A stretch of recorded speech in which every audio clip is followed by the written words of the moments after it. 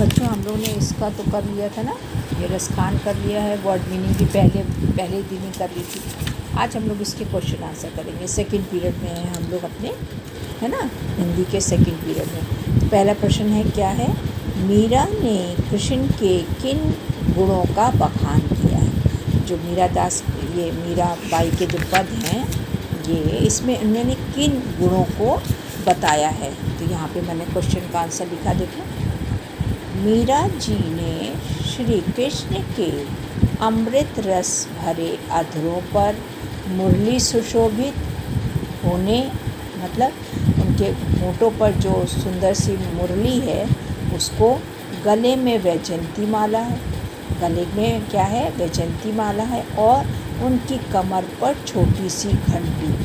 उनकी कमर पर क्या है? छोटी सी घंटी, शोभायमान होने और उनके पाँव में घुंघरों की धनी सुंदर रस उत्पन्न कर, आदि गुणों का वर्णन किया है। मतलब वैसे तो पूरे जो मीराबाई की सारी रचनाएँ हैं बच्चों, जितनी भी रचनाएँ उन्होंने लिखी हैं, बोली हैं, करा है तो उन सब रचनाओं में श्री कृष्ण का ही है। श्री कृष्ण की ही व्याख्या है, हर मतलब उनके बाल अवस्था की, हर चीज़ की। लेकिन हमें क्या बताना है?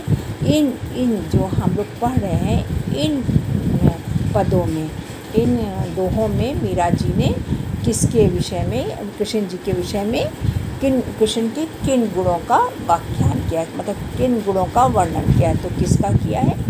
फिर से एक बार देख लीजिए, क्या है?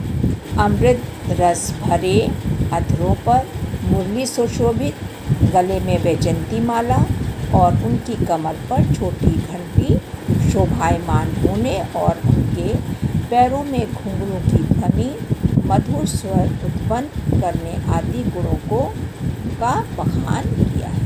ठीक है बच्चों, पहले क्वेश्चन का आंसर, अब दूसरा।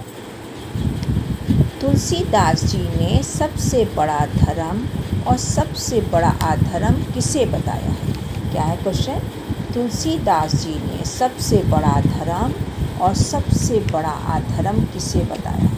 तुलसीदास जी ने क्या कहा है? तुलसीदास जी ने दूसरों की भलाई या परोपकार करने को सबसे बड़ा धर्म और दूसरों को कष्ट देने या दुख देने को सबसे बड़ा अधर्म बताया है। इस लेसन में, है ना बच्चों? इस लेसन में ये जो उनके दोहे थे तुलसीदास जी के। उस, उन दोहों में उन्होंने क्या बताया था?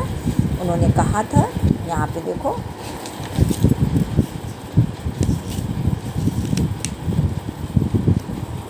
ये, पर हित सरिस धर्म नाही भाई, पर पीड़ा सम नाही अधमाई।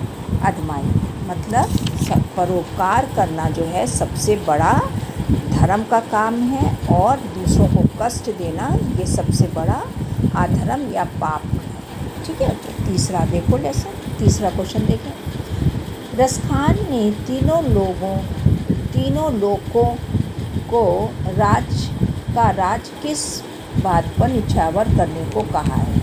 है ना? अभी हम लोगों ने पढ़ा है ना फ़र्स्ट में फिर से क्वेश्चन पढ़ लेते हैं।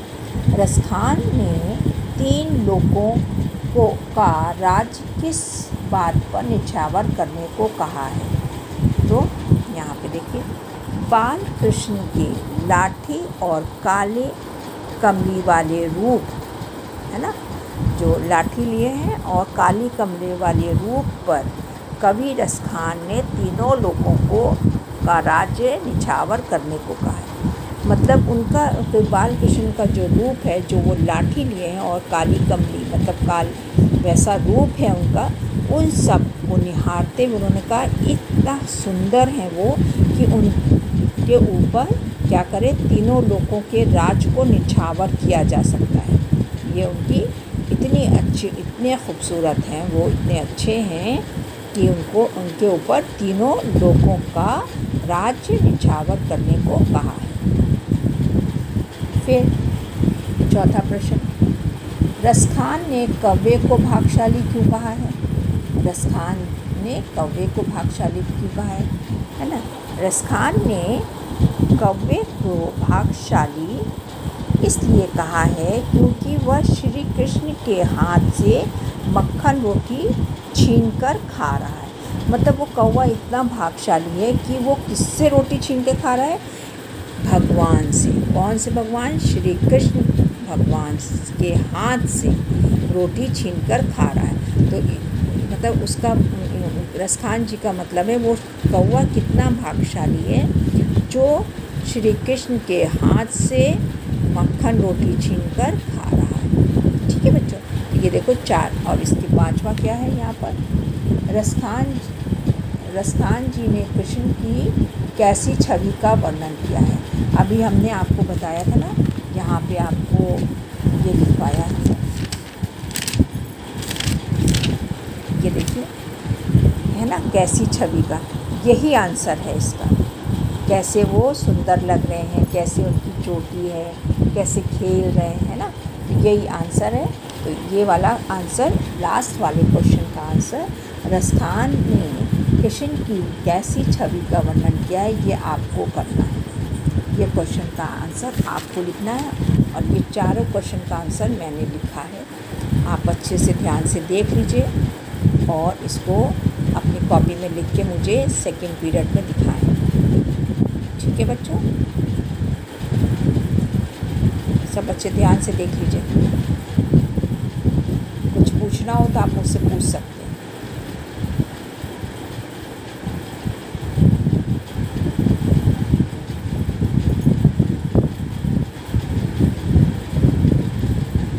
पहला क्वेश्चन है दूसरा है करके देखिएगा। चारों क्वेश्चन ये हैं, एक क्वेश्चन आपको अपने आप करना है। सेकेंड पीरियड में है तो इंग्लिश मतलब हिंदी सुलेख का, लेकिन इसमें हम, इसमें अभ्यास करा रहे हैं। तो आप इसी को करिएगा। ठीक है बच्चों? कुछ पूछना हो तो पूछ सकते हैं। ठीक है बच्चों। थैंक यू बच्चों।